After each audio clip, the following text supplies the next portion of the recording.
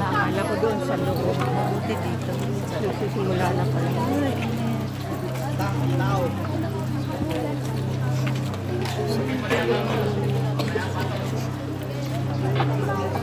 Si Ero natatawa.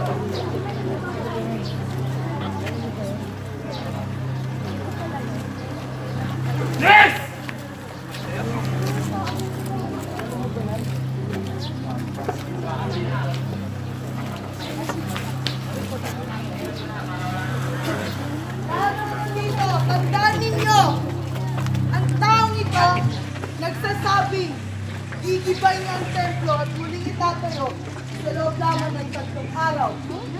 Kasi kung parang imposible yun. Tawa! Marami pa siyang ginawa na gumagamit ng kapangyarihan. Sinungaling yung tao. Ang ulo ay bulaan. Ah, mabulaan.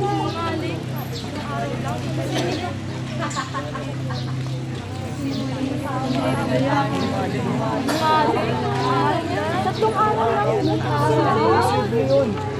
Wala ka man ang pang isasagot sa mga paratang nilalaban sa iyo. Tama.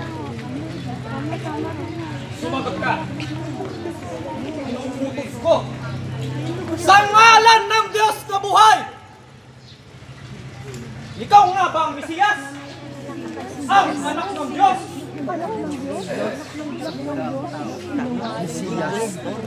Nasasabi. Sumasagot talaga. Lapastan!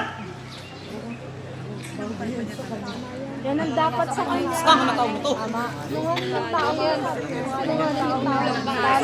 Tama. Mula ngayon, nakikita niyo ang anak ng tao na nakaupo sa makapangyarihan. Darating na nasa alapap sa langit. Ba kayo dyan? Sinungaling ka. Hindi na natin kailangan ng mga saksi. Tama! Tama! Para sa akin!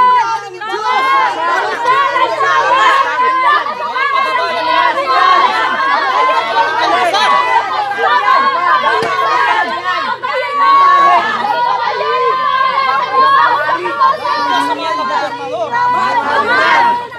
Dapat siya parusahan. Dapat siya parusahan.